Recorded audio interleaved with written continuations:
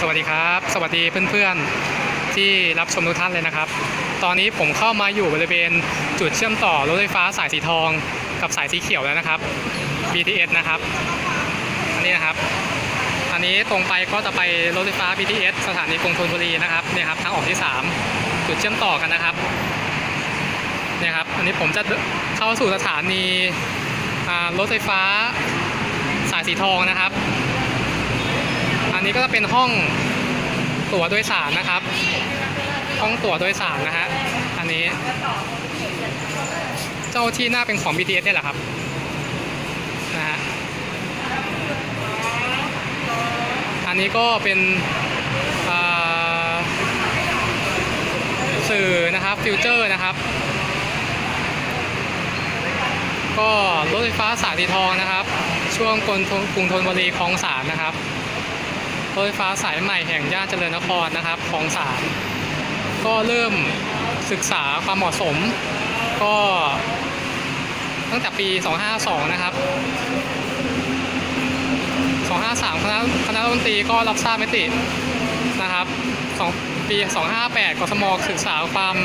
เหมาะสมโครงการรถไฟฟ้าสายสีทองนะครับ ปี 59 คณะรัฐมนตรีเห็นชอบให้ก่อสร้างบนดินแทนระบบใต้ดินนะครับ ก็คือสร้างบนดินได้นะครับ ปี 2560 กทมมอบหมายให้กรุงเทพมหาครเป็นผู้ดำเนินการนะครับ ปี 2561 ก็คือเริ่มก่อสร้าง แล้ววันนี้ก็คือเปิดใช้บริการนะครับวันที่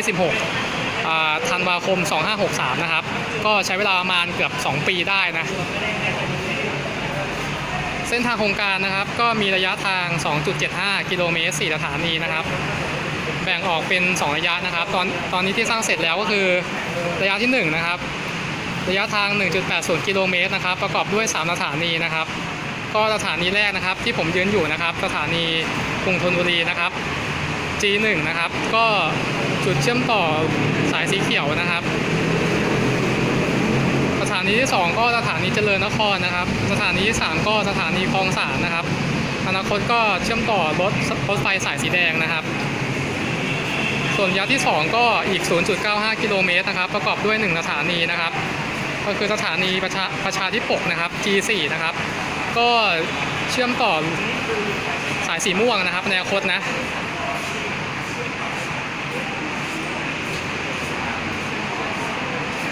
ก็ค่าโดยสาร 15 บาทตลอดสายนะครับ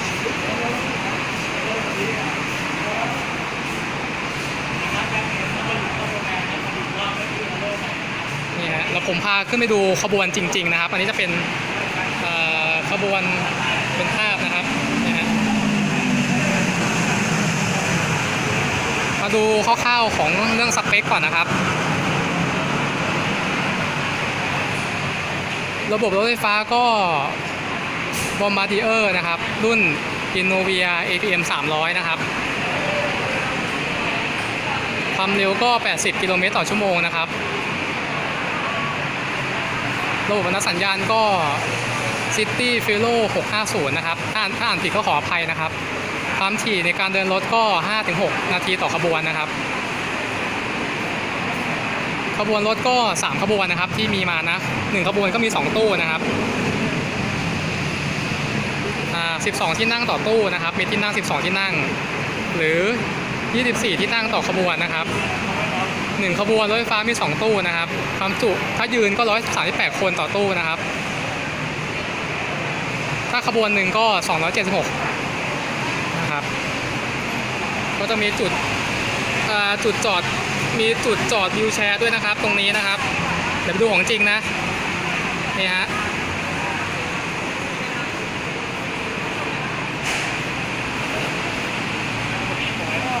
ก็ตัวรถประตูประตูกว้าง 1.9 เมตรนะครับ ความยาวก็ 12.75 เมตรนะครับ 2 ตู้รวมกันก็ 26 เมตรนะครับความสูงพื้นรถ 1.1 เมตรนะครับ น้ำหนักก็ 16.3 ตันต่อตู้นะนะครับ ความสูงก็ 3.5 เมตรนะครับ ความกว้างก็ 2.8 เมตรนะครับ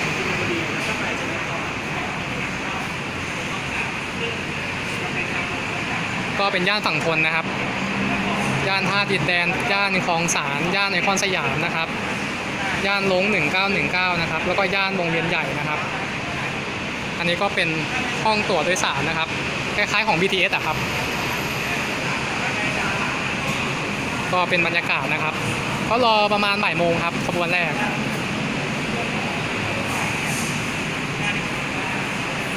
เครื่องจำหน่ายตั๋วพาไปดูนะครับ เครื่องจำหน่ายตั๋วนี่นะครับ ไปฝั่งโน้นนะ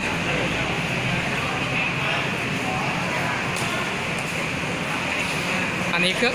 เครื่องจำหน่ายตั๋วนะครับ มีอยู่สองตู้สองตู้นะครับ มีสองตู้เหรอครับ เครื่องจำหน่ายตั๋ว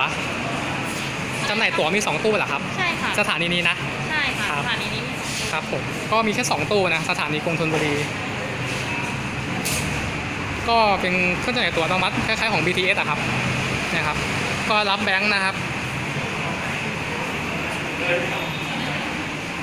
นะฮะ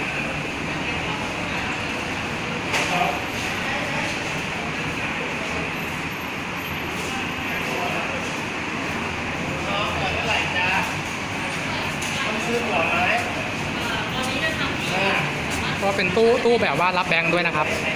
ก็ดีครับ ก็รับเหรียญ1บาทนะครับ รับเหรียญ1บาท 2 บาท 5 บาท 10 บาทนะครับเนี่ยครับ แล้วก็รับธนบัตรด้วยนะครับธนบัตรที่ช่องนี้นะครับ อันนี้น่าเป็นใส่บัตรโดยสารนะ อันนี้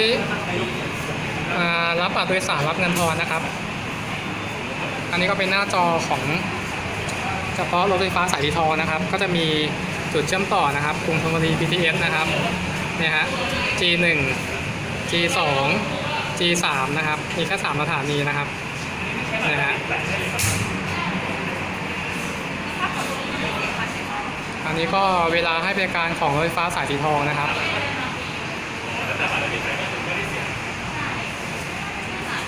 ขบวนแรกก็6โมงเช้านะครับ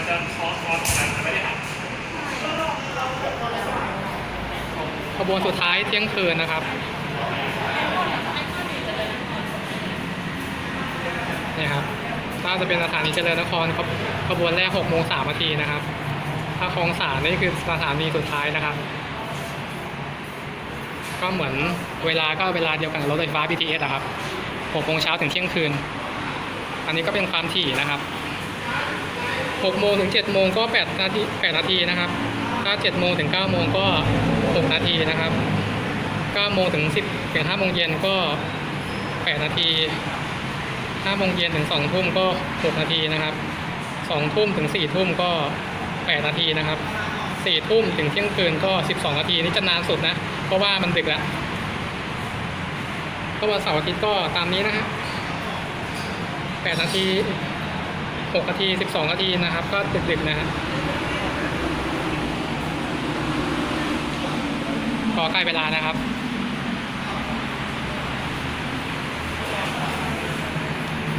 อันนี้ก็เป็นบรรยากาศนะครับ วันแรกนะครับวันที่ 16ธันวาคมนะครับ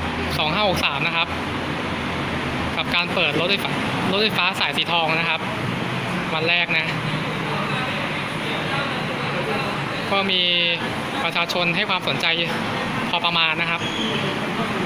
นะครับ น่าจะทยอยมาเรื่อยๆฮะนี่ครับ ก็มีการถ่ายลงถ่ายรูปด้วยนะครับนะฮะ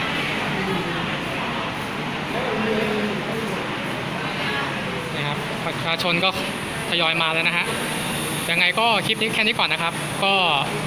เดี๋ยวผมจะคลิปต่อไปก็จะเป็นรีวิว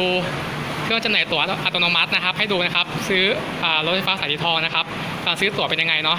แต่ตอนนี้คือฟรีนะครับฟรีถึงวันที่ 15 มกราคม2564นะครับตอนแรกนึกว่าเสียเงินนะครับ ก็ฟรีนะถึง 15 มกรานะครับ โอเค คลิปนี้ขอบคุณมากก่อนนะครับเราพบกันใหม่ในคลิปต่อไปนะครับ ขอบคุณมากครับ สวัสดีครับ